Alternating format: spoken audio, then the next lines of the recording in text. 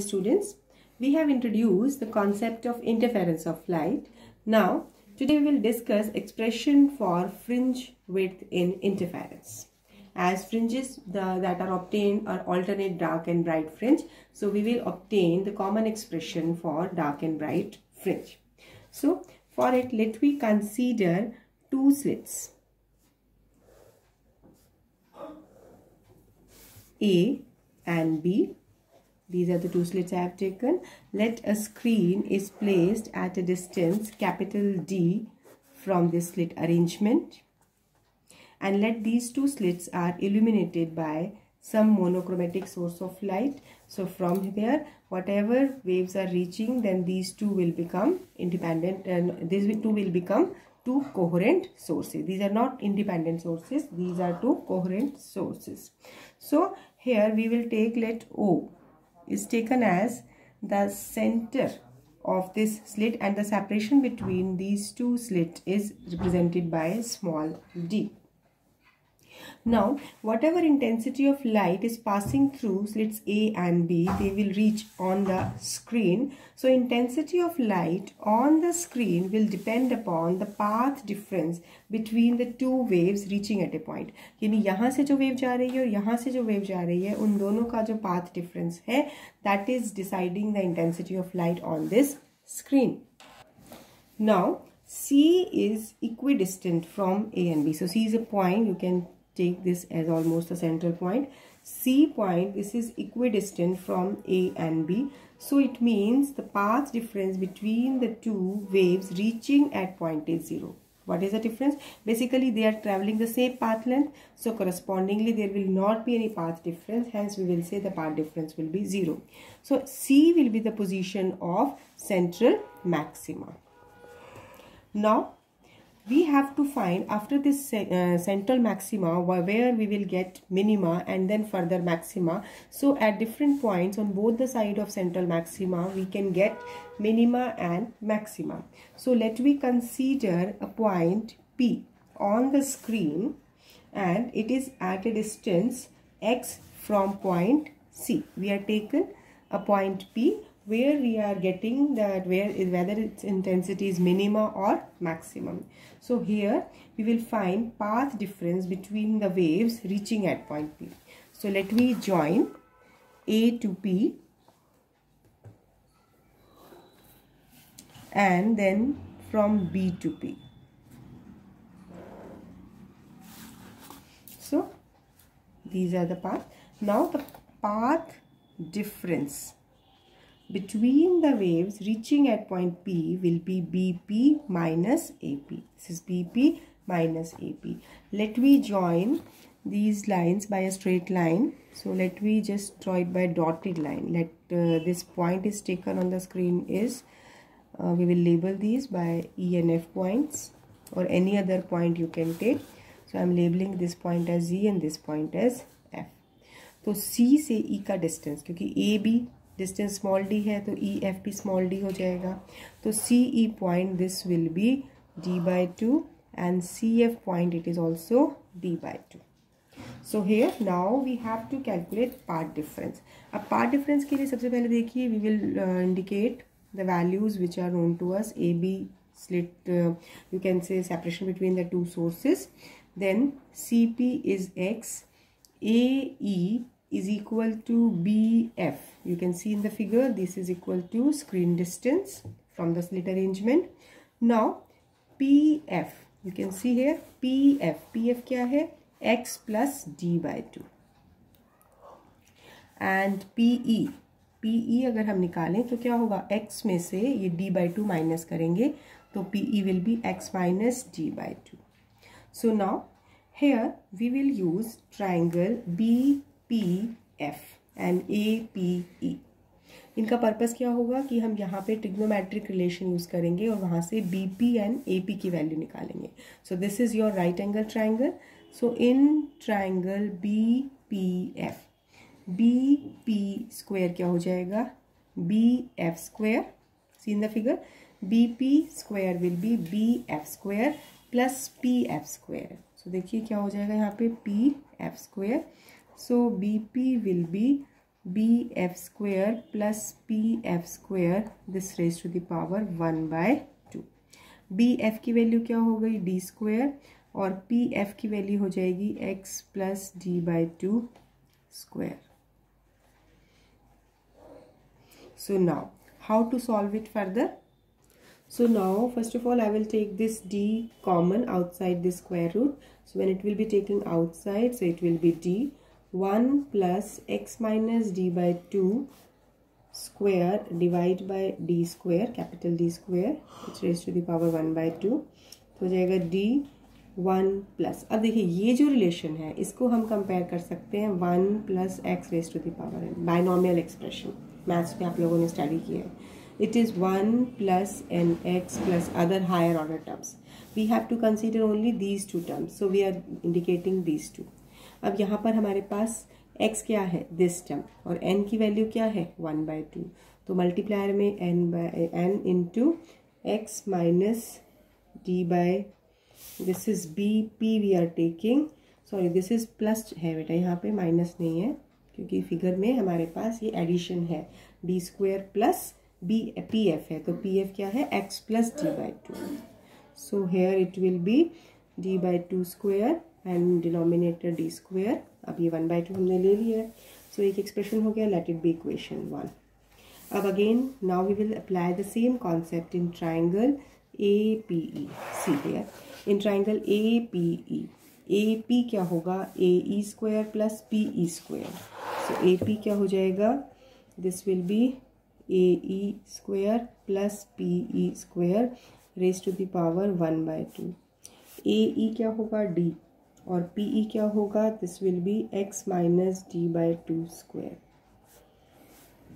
तो further same step जैसे हमने पिछला किया था डी कॉमन लेंगे। यहाँ आ जाएगा one plus x minus d by two square by two d square this is d square in the next step we will expand this binomial so here now in the next step again we will apply binomial तो similar step अगर जब हम लगाते हैं one by two d square और numerator हो गया x minus d by two की power two this is equation two so, we have two expressions from where now what you have to do, as we have to find path difference, so path difference will be bp minus ap तो अब हम यहाँ पर करेंगे, ये जो equation one है और इक्वेशन टू दोनों की वैल्यू पुट करेंगे। ये हो गया d one plus one by two x plus d by 2 square by d square uh, minus d 1 plus 1 by 2 d square. This is x minus d by 2 square. So the next step let we will multiply this d inside the bracket. So d plus 1 by 2d this is x plus d by 2 square minus d minus 1 by 2d x minus d by 2 square. तो d से D cancel इन दोनों में 1 by 2d common ले लें और यहाँ formula लगा दें ए प्लस बी स्क्वायर यहाँ ए माइनस बी स्क्वायर तो हो जाएगा x square plus d square by four plus x t ये हो जाएगा minus x square minus d square by four इस माइनस को हम अंदर ले रहे हैं. ये हो गया प्लस एक्स टी तो देखिए कॉमन फैक्टर कैंसिल ये दोनों टर्म्स ऐड हो जाएँगी तो होगा two x t upon two t So, this is the path difference between the two interfering wave meeting at point P. So, from here 2 will be cancelled out. Expression हो गया ये. ये हो गया general expression for path difference अब हम इन्हें study करेंगे for constructive and destructive interference या यही कहें कि कंस्ट्रक्टिव का मतलब फ्रिजेस कैसे बनती हैं? ब्राइट फ्रिंजेस तो ब्राइट फ्रिंजेस जब आप लेते हैं for this bright fringes basically this path difference must be equal to the condition जो हमने कंडीशन पिछले एक्सप्रेशन में ऑप्टेन की थी। और कंस्ट्रक्टिव इंटरफेरेंस में पाथ डिफरेंस क्या था? दैट वाज एन लेमडा तो x d upon capital D will be equated with n lambda where n equal to zero one two and so on तो अब यहाँ पर पाथ डिफरेंस कितना होगा? यानी एक्स की वैल्यू क्या आएगी? N lambda D upon d this is the condition for bright fringes तो अगर हम यहाँ पर देखें एन की वैल्यू अगर हम सब्सटीट्यूट करें तो एक्स नॉट क्या हो गया? ज़ीरो वन करें एक्स वन हो गया lambda D by t x two हो गया this will be two lambda D by d x three लोगे तो three lambda D by d and so on तो अगर हम इन सभी वैल्यूज़ का डिफरेंस लें, यानी अगर हम ये कहें कि ये this x naught equal to zero यानी बेसिकली हमने क्या लिया था कि सी पॉइंट और पी का डिफरेंस ही एक्स था। यानी एक्स नॉट ज़ीरो का मतलब हम सी पॉइंट की बात करें, यानी यहाँ हमारे पास ब्राइट फ्रिंज मिल रही है। तो अब इसके बाद इन दोनों का डिफरेंस लें x one minus x naught this will be lambda D by d which is equal to x two minus x one which is equal to x three minus x two सभी values को आप difference लेके देखो। तो हमें क्या मिल रहा है यहाँ से कि बेसिकली जो हमारे पास कंडीशन आ रही है, यानी difference between the position of that is यानी यहाँ सेंट्रल मैक्सिमा के बाद ये जो पोजीशन आ रही है, यानी इसकी विथ कितनी आ रही है this width comes out to be lambda D by t similarly if we take condition for dark fringes अब डार्क फ्रिंजेस में हम पाथ डिफरेंस को किससे इक्वेट करेंगे, जो उसकी कंडीशन होती है? क्या कंडीशन थी? This is two n minus one lambda by two यानी odd integral multiple of half wavelength इसमें n was taken from one two and so on तो पाथ डिफरेंस हो जाएगा यहाँ पर two n minus one lambda by two D into d so अब अगर हम यहाँ पर एन की वैल्यू सब्सटीट्यूट करें let it be x one dash so it will come out to be lambda D by two d x two dash यानी one की value जब हमने टू पुट की तो ये हो गई three by two lambda D by d and so on तो अगर आप यहाँ पर भी डिफरेंस देखेंगे ये बेसिकली यानी डार्क फ्रिंज की जो कंडीशन है डिस्ट्रक्टिव इंटरफेरेंस जिसपे मिनिमा की कंडीशन है तो the difference between the point of dark pattern that will be given come out to be lambda D by d what we conclude from these two expression see here these two expression are identical what does it mean that separation between centre of two consecutive bright fringe is the width of dark fringe क्या बोला मैंने? That separation between centre of two consecutive bright fringe is the width of dark fringe यानी दो bright की position के बीच में यानी अगर हम ये कहें कोई पैटर्न ऑप्टेन हो रहा है और उसमें यहीं ब्राइट इंटेंसिटी ये डार्क ये ब्राइट ये डार्क ये ब्राइट यानी ये ब्राइट ये डार्क इस तरीके से। तो अब हम कह रहे हैं कि centre of two consecutive bright fringes यानी ब्राइट के बीच का जो डिफरेंस होगा बेसिकली यानी ये क्या दे रहा है आपको? ये डार्क पैटर्न की विथ दे रहा है। और ऐसे ही हम कह सकते हैं this is equal to width of bright fringe formed between centre of two consecutive dark fringes यानी हर दो डार्क पैटर्न के बीच में एक ब्राइट मिल रहा है, हर दो ब्राइट पैटर्न के बीच में एक डार्क मिल रहा है. So what we are concluding that this separation comes out to be constant तो इसको हम नेम देते हैं फ्रिंज विथ और ये फ्रिंज विथ को हम रिप्रेजेंट करते हैं बीटा जिसका एक्सप्रेशन है lambda D by d so, it is not depending whether the dark fringes are there or bright fringes are there. The width of pattern will be lambda d by d. D by small d. This is the expression for fringe width. अब अगर हम कहें angular separation of fringes, तो this will be equal to beta upon d. So it is lambda by d. यानी कि if the separation of screen distance from the slit distance is changing, then in that particular case, angle angular separation will remain independent.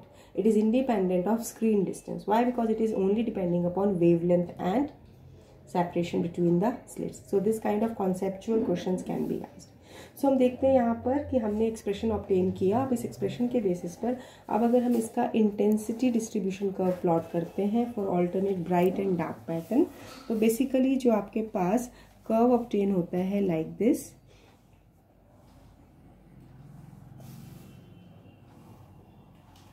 on both the side of central maxima. What we have represented this is the position of central maxima and correspondingly here after that secondary minima and then maxima then minima then maxima. On both the side of central maxima you obtain the same pattern. So here i will label it as intensity and this is phase difference. So pi 3 pi this is minus pi minus 3 pi. So uh, and so on. Here all the bright these are basically जो हम बात कर रहे थे dark and bright pattern की तो यहाँ ये सेंट्रल मैक्सिमा है उसके बाद सेकेंडरी मैक्सिमा जो दोनों तरफ़ ऑप्टेन हो रहे हैं इनकी भी इंटेंसिटी सेम है। यानी तभी ये सेम इंटेंसिटी की वैल्यू को हमने शो किया है। And there is a good contrast between dark and bright pattern तो देखिए यहाँ पर जो मिनिमम इंटेंसिटी है ये ऑलमोस्ट ज़ीरो है।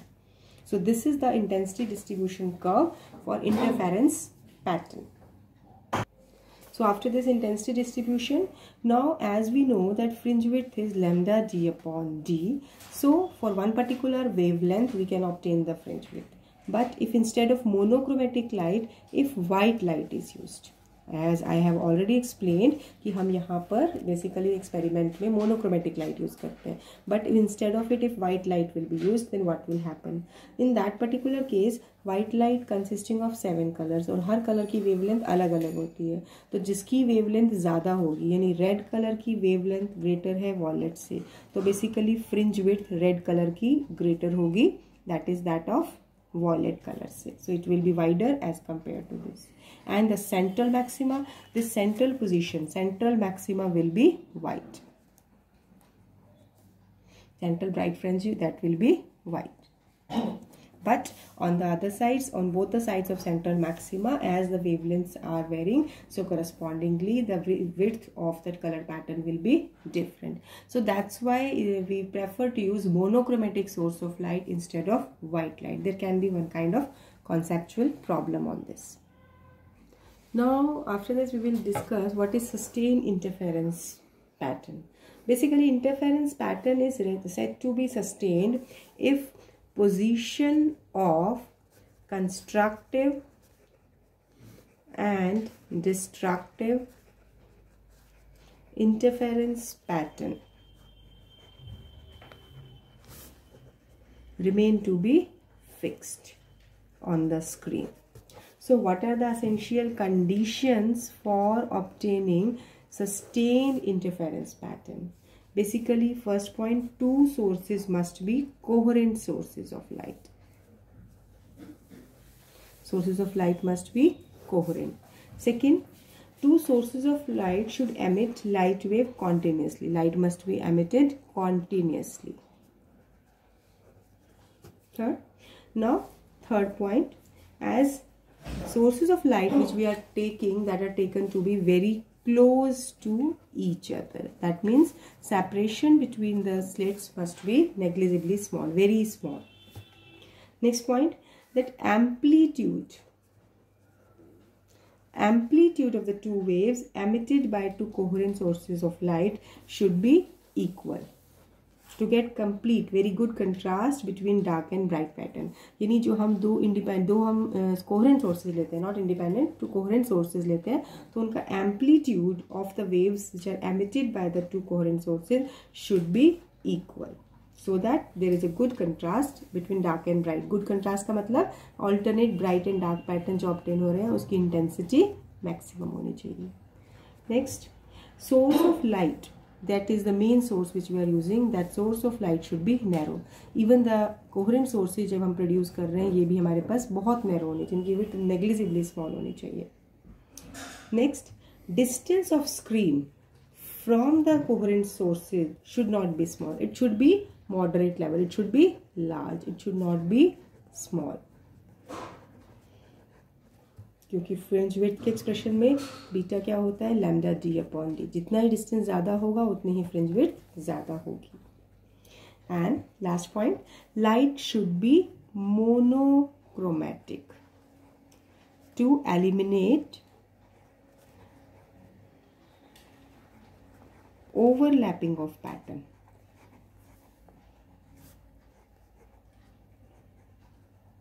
क्योंकि अगर हम सिंगल वेवलेंथ लेते हैं मोनोक्रोमेटिक लाइट लेते हैं तो वहाँ पर ओवरलैपिंग नहीं होती है। But instead if we are using white light there will be overlapping of the interference pattern so it will not give you the clear pattern on the screen so these are all few points of sustained interference pattern what should be the condition for obtaining interference pattern on the screen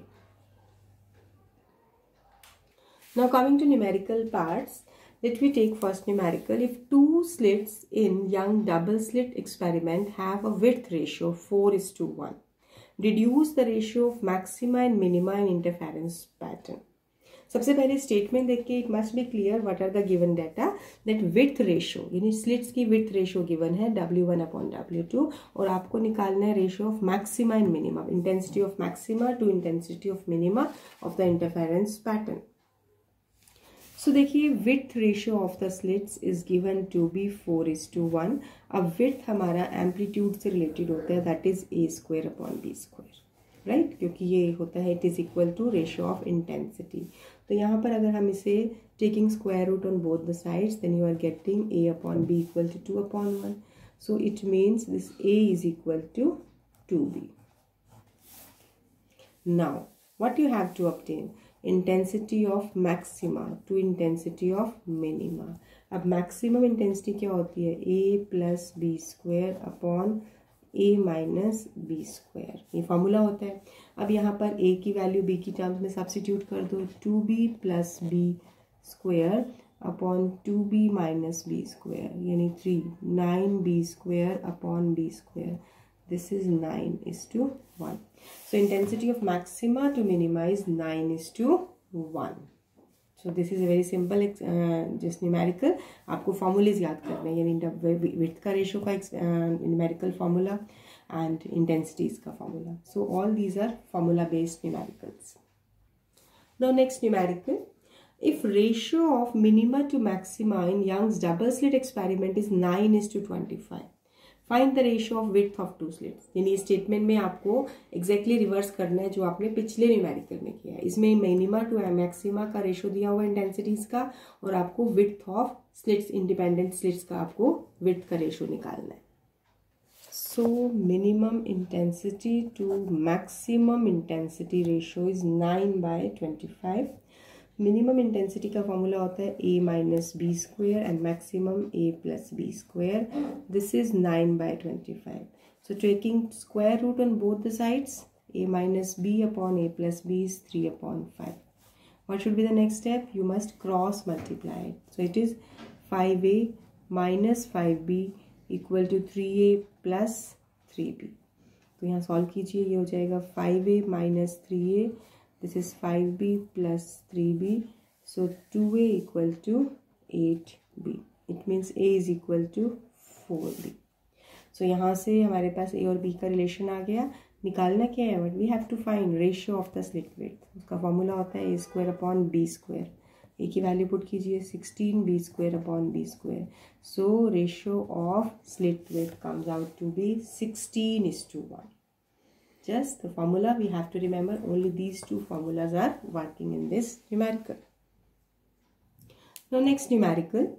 If one of the two identical slits producing interference in Young's experiment is covered with glass any one slit has been covered with the glass so that light intensity passing through it is reduced to 50 percent.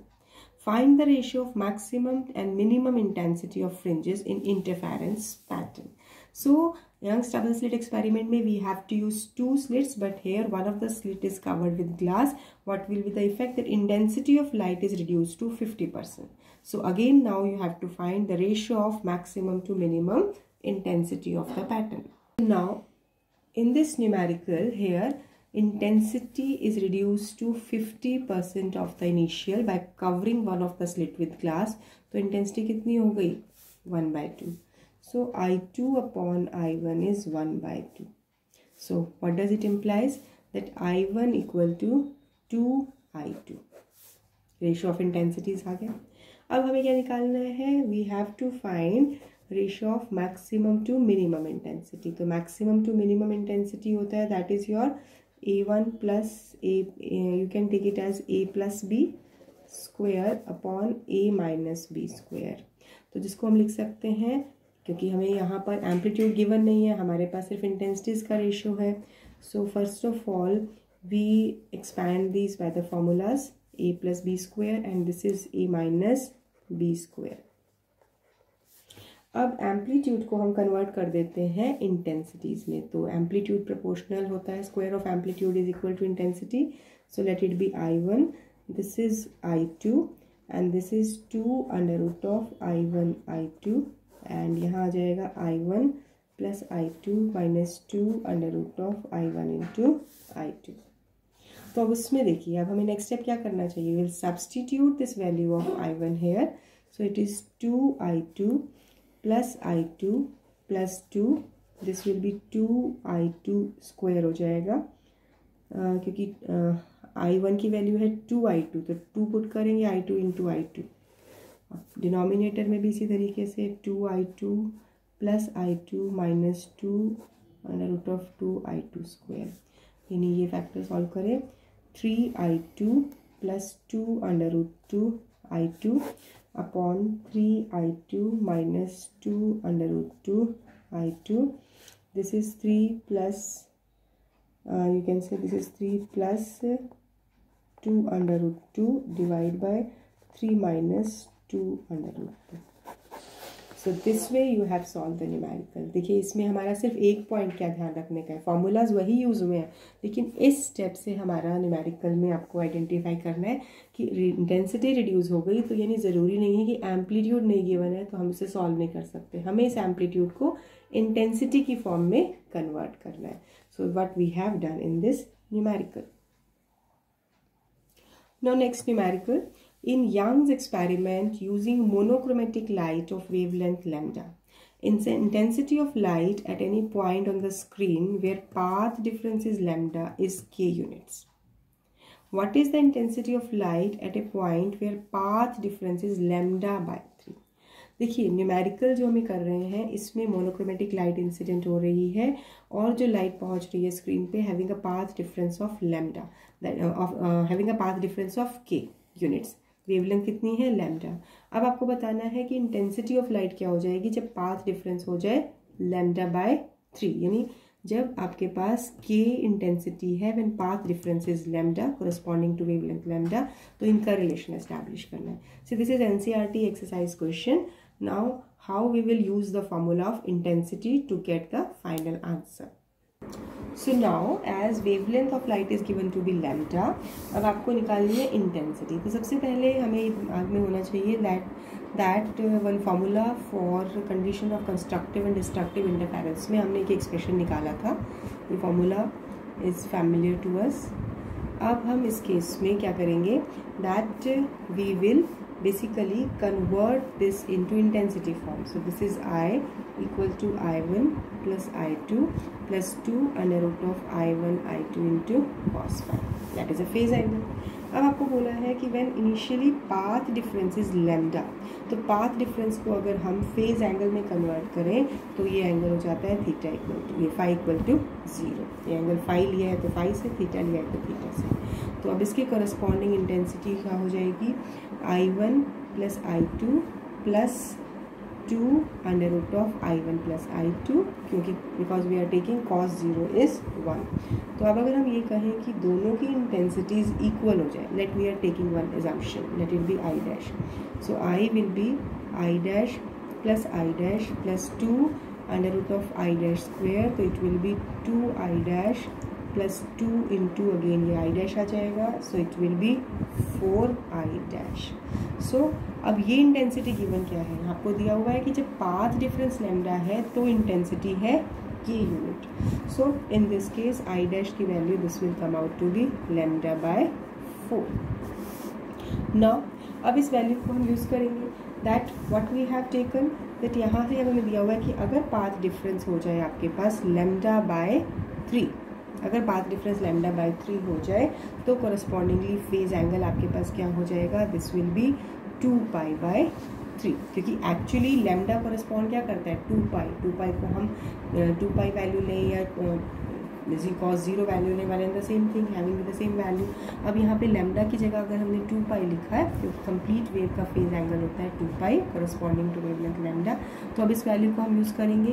तो change intensity हमारे पास जो आएगी let it be I double dash इसमें हो जाएगी I dash plus I dash plus two under root of I dash square into cos two pi by three तो ये हो जाएगा two I dash plus two I dash cos two pi by three cos two pi by three होता है cos one twenty और cos one twenty की value जो हो जाएगी this is your minus one by two तो ये हो जाएगी two I dash one minus one by two so it is two I dash upon two तो ये होगी आई डैश यानी कि आई डैश की वैल्यू कितनी है? के बाय फोर सो बेसिकली तो हमने फाइंड आउट कर लिया कि जब path difference lambda by three है तो करस्पॉन्डिंगली इंटेंसिटी कितनी हो जाएगी?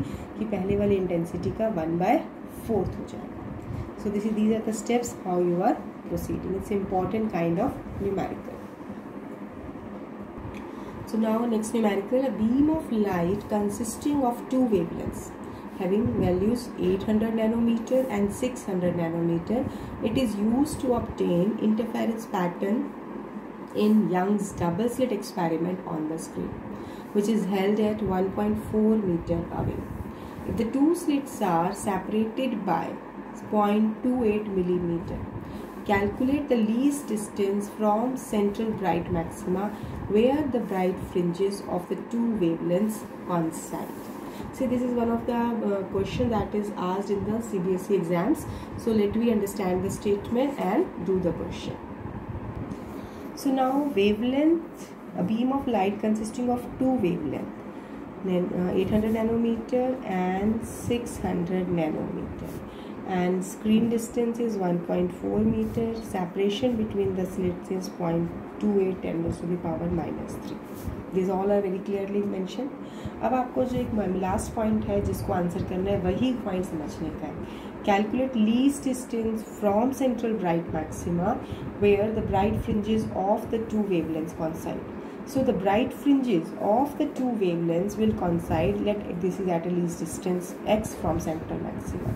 तो अगर हम ये कहें, coincide का मतलब कि एक का हमारे पास nth फ्रिंज कॉन्साइड करेगा, एक का n plus one th fringe के साथ then only there you can say the bright maxima centre bright maxima will be coinciding with the bright fringes of the two wave this is the condition that you have to learn यहाँ से common factor cancel हो गए।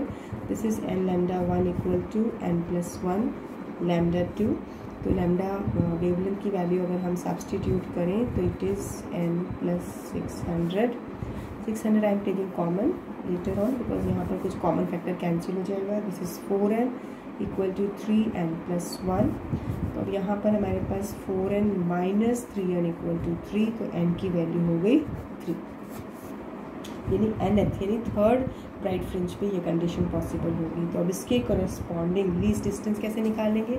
इन दोनों में से किसी एक में वैल्यू पुट कर दें तो एक्स क्या हो जाएगा? N lambda one D upon D अब यहाँ पर सभी वैल्यूज़ पुट कीजिए। This is lambda one eight hundred nanometre multiply by ten की power minus nine screen distance and separation between the slits so n will solve the answer will come out to be 12 into 10 raised to the power minus 3 meter. This is 12 millimeter.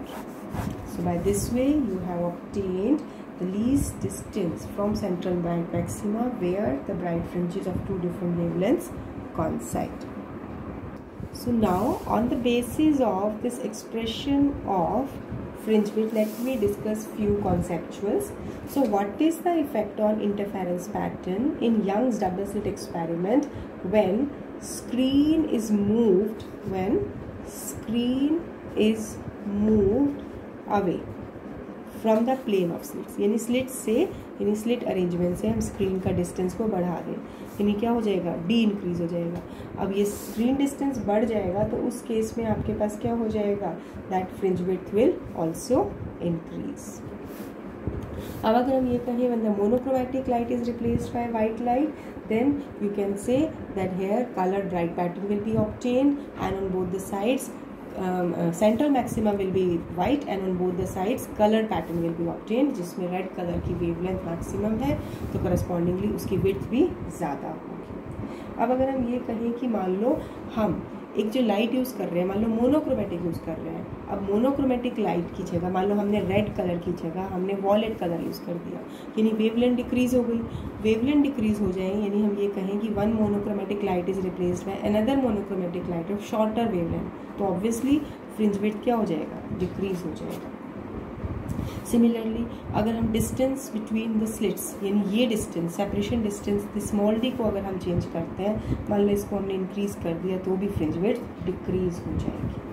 So so, ये तो formula based question हो गया इसके corresponding अगर angular width की बात करें तो एंगुलर विथ हो जाता है beta upon capital G so it is independent of screen distance यानी angular width will be independent when the screen distance is changed now one more thing that I have to explain today as we have taken that source of light that is this is S these are the two slit arrangement and this is the screen अब हमारे पास अगर question किस form में हो कि source slit is moved closer to double slit यानी इसको इसके क्लोज लेके आते हैं तो अगर हम ये लें कि एस एस को हम रिप्रेजेंट करते हैं साइज़ ऑफ़ ऑब्जेक्ट और एस डैश डिस्टेंस हम ले लेते हैं ये हो जाएगा आपके पास distance from plane of two slits तो इंटरफेरेंस पैटर्न ऑप्टेन होने के लिए कंडीशन होती है s by s dash must be less than lambda by t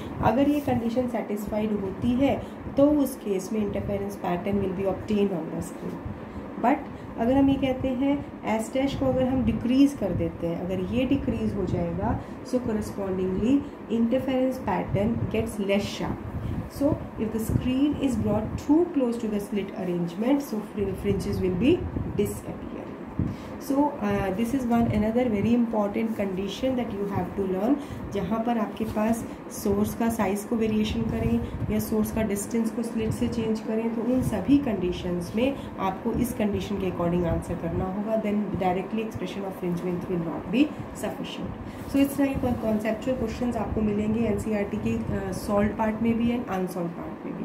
So do such kind of practice also so now that that's all for interference of light now practice these concepts thoroughly